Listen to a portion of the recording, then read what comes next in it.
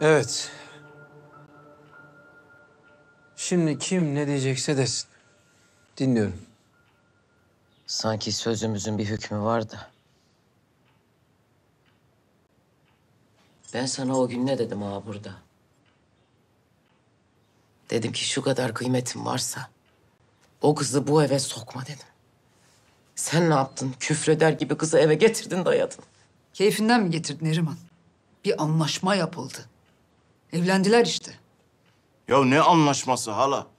Üç can verdik ya, üç can. Anlaşma anlaşma yok, bozuldu.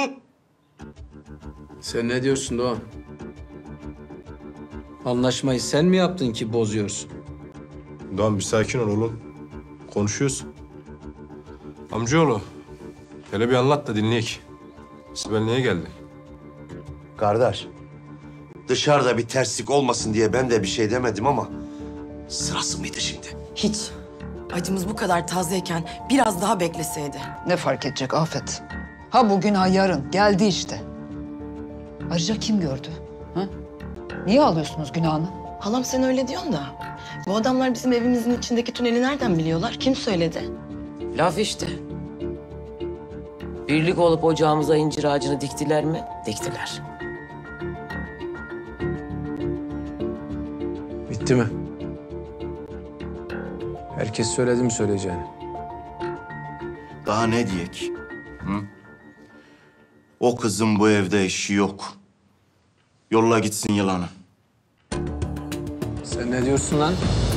Sen nasıl konuşuyorsun lan benim karımın hakkında? Haddini bil lan! Dur kardeş, dur, dur, dur. Hepimizin sinirleri bozuk. Ağızdan çıkıyor işte. Hadi otur, otur.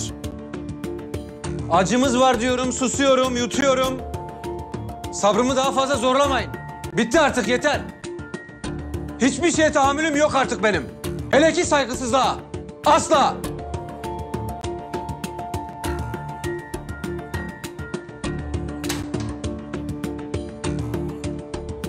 Gel. Dost, ne oldu kardeş? Bir durum mu var? Ben çağırdım abi. Geç otur kardeş şöyle. Bundan sonra aile toplantılarımıza Boz da katılacak.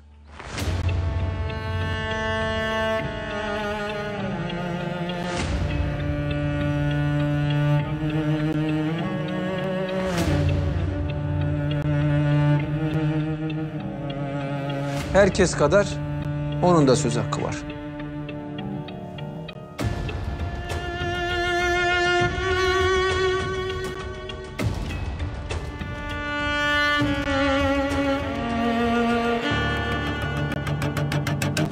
İşin iyice cılkı çıktı ben size diyeyim.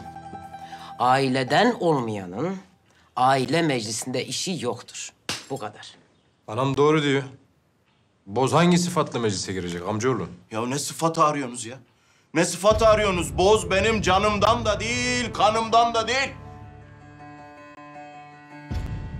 Bu benim konuştuklarımdan bir şey anlamıyor ha.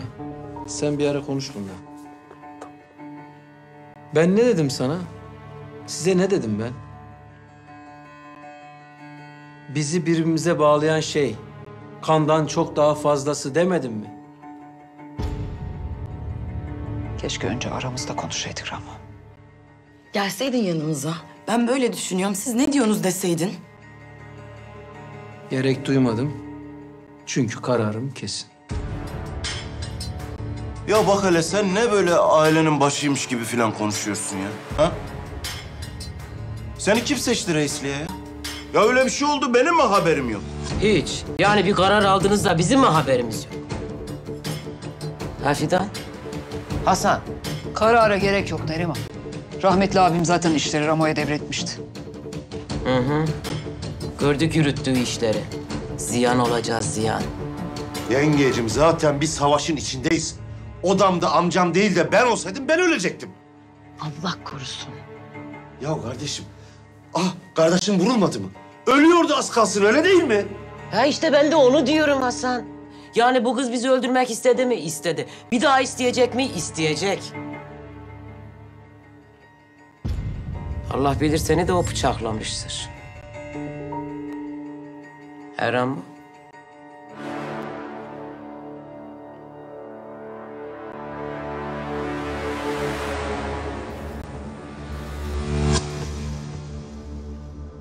Siz niye hala bu konuyu deşiyorsunuz? Ha? Öyle bir şey yok dedim. Yok.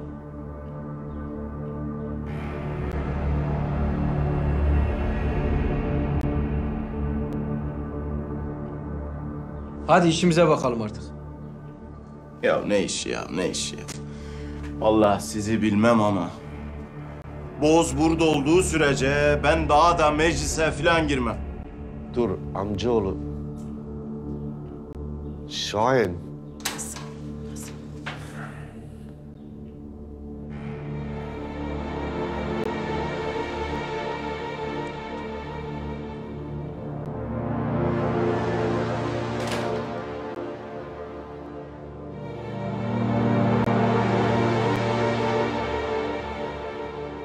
Ramo. Yapma kardeş. Olacak iş var, olmayacak iş var. Kimse bunu kabul etmez. Haklıdır. Benim bu mecliste yerim yok. Artık var. Bir şeylerin değişmesi gerekiyordu.